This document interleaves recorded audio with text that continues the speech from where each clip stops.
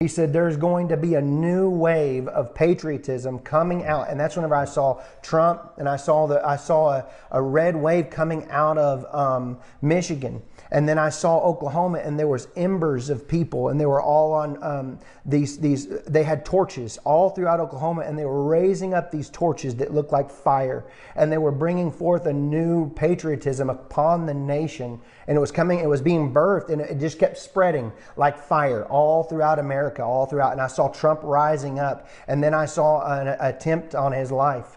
Uh, that the, this bullet flew by his ear, and it came so close to his head that it busted his drum eardrum. And I saw um, he was he fell to his knees during this time frame, and he started worshiping the Lord. He got radically born again during this time frame. I'm talking people say he's saved now, but he becomes really on fire for Jesus for what I saw coming. And um, then I saw people interceding when he, and I see him, I saw him winning the, the presidency uh, through great, uh, the Lord showed me it would go clear into the, the summer, great persecution would come on him through the judges and through the um, through the law and all these people trying to sue him and all this stuff. But there would be a stop to it, and there things would start to to, to break free come toward the fall. And then I saw him winning uh, the election. Uh, through uh, the Patriots coming out and voting, and then and then and then there will be a great economy crash. Yeah. I saw they had a great economy plan a crash, yeah. worse than the, uh, the uh, Great Depression. And the Lord warned me about this. It would be a great dark time. But I saw paddles coming upon America's soil like a shocking of the soil.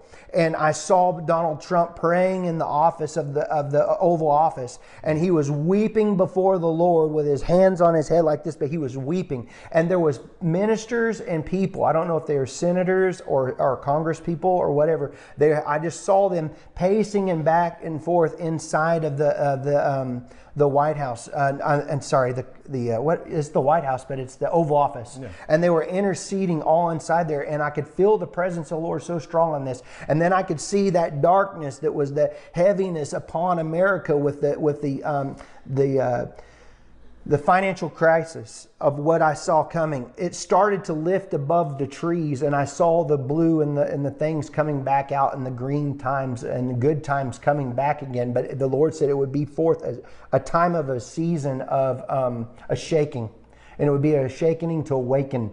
And and in this, there it, this would. Uh, uh, basically, that he was not done with America. There would be a great revival come, and there's it's it's not all doom and gloom. That's what he said. The sky's not falling. It's just a time of, uh, it's like people would say, this is judgment. And the Lord said, do not call this judgment. It's not my judgment. It's a correction. There's a correction coming. Mm-hmm.